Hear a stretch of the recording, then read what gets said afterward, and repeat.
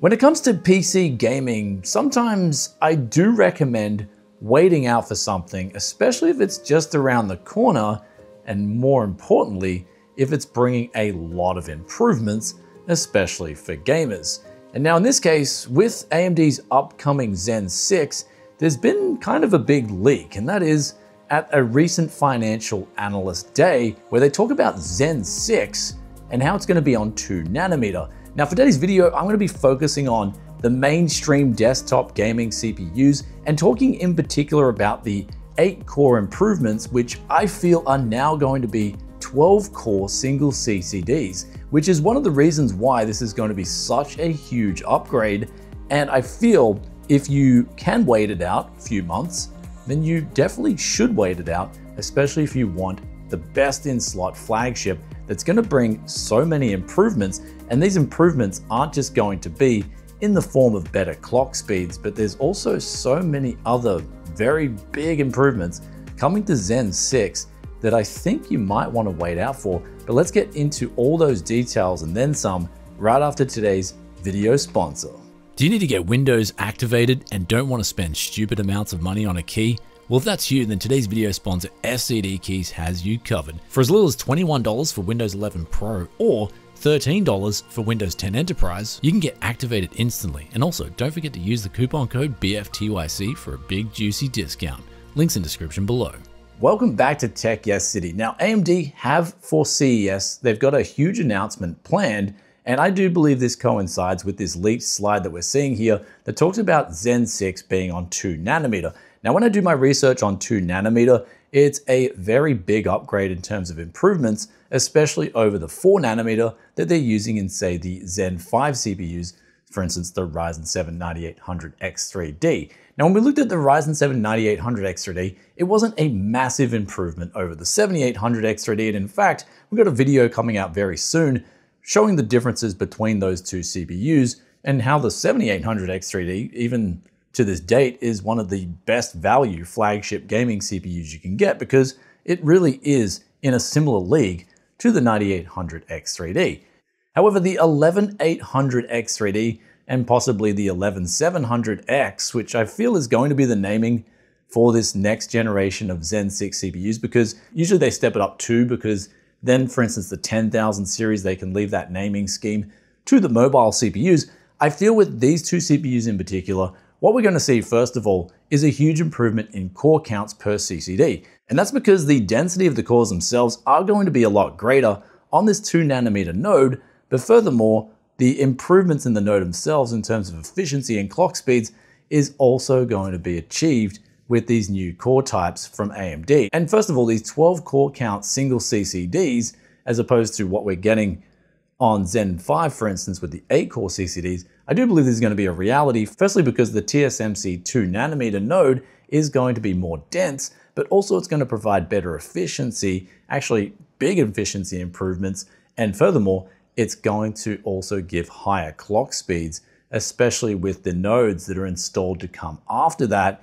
And it just makes perfect sense for AMD at the upcoming CES to announce the Ryzen 11000 series to the desktop gamers as well as the single end client user, considering they gained a huge amount of market share in this particular field. And they definitely made this also known at the financial analyst day, posting some big revenue gains as well as market share gains in this sector in particular. And although unfortunately, AMD didn't directly focus on the gamer at this financial analyst day, they did mention the Zen 6 and the timeline and also the 2 nanometer, which from this I believe we can derive a lot more information, plus other details that are already known.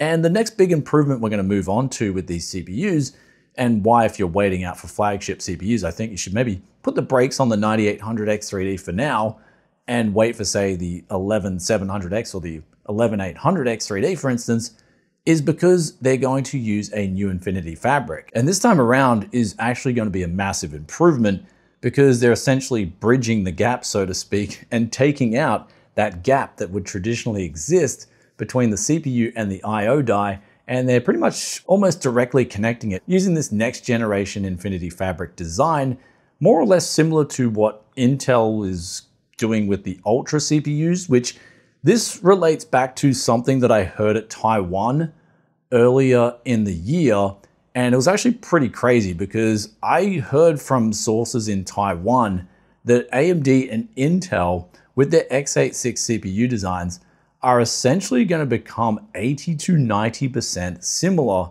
in their layouts. And so there's not going to be a huge difference in the coming years between these two CPU manufacturers. And that's just what I heard.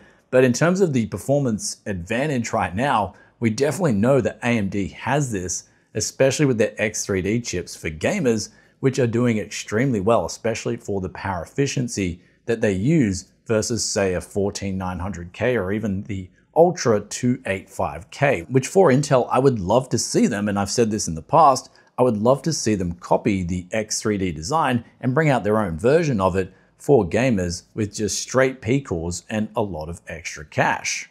Now, speaking of that cache, it's actually going to be improved because of the more core counts that are being used and the higher density in the node, you can expect roughly a 50% increase in cache sizes, both on the normal CPUs as well as the X3D gaming chips. Even if it was just a static upgrade of 8 cores to 12 cores, the gamers will still benefit greatly from the increased core counts and ultimately the increased cache counts. They're coupled in with the fact that the Infinity Fabric is going to lower the latencies as well as increase the throughput speeds. I do believe this could be a massive improvement, not just in terms of your benchmark numbers and your FPS numbers, but also it could make a very snappy experience for people who are editing videos. So increased core counts, lower latencies, and also better efficiency. This one is definitely one to wait out for, especially because I believe the announcement for these CPUs is going to be the 11000 series coming up with CES 2026 in the USA.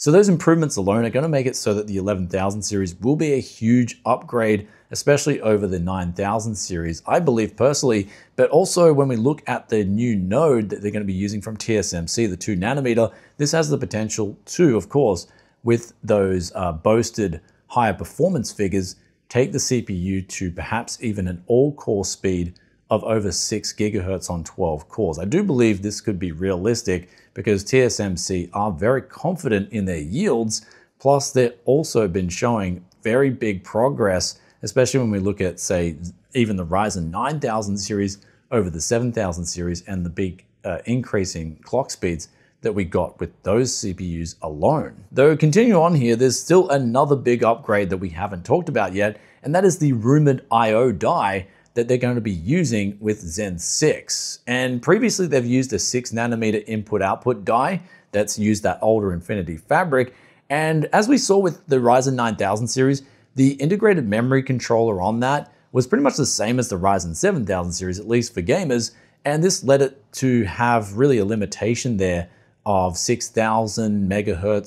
Sometimes you can get up to 6200, 6400 with those lower latencies, and that was pretty much the best in slot for gaming. But we do know that there is much more capable DDR5 RAM out there, going to 8000 megahertz plus, and even with really good latencies. And so with this new I.O. on 3 nanometer, I'm hoping that we'll see some big improvements here too, and that will all just come together to show some absolutely massive gains on Zen 6. And in particular, I do believe AMD will go with their typical strategy of releasing the 11700X and also their 11950X first.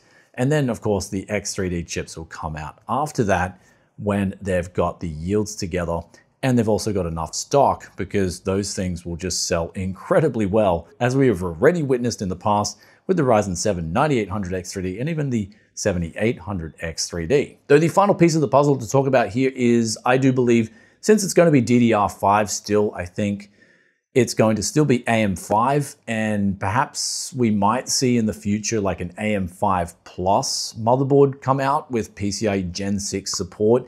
But I think for now, you'll pretty much have the CPUs come out and all you have to do is update your BIOS and you can get the new Zen 6 CPUs working on your AM5 motherboard. I do believe that is going to be the scenario here. And then the last thing I know you guys are going to ask me in the comments is what about pricing of these new CPUs? And so I do believe since TSMC are charging more for their nodes, and inflation has just been a constant thing in the last few years, I do believe you will see yet again another price increase on these um, new 12 core CPUs, especially this time around since they're going to be 12 core single CCDs versus 8 cores. Anyhow, guys, I hope you enjoyed today's video. If you did, be sure to hit that like button and also let us know in the comment section below what you think of the upcoming Zen 6 CPUs, which I'm pretty sure will be announced at CES.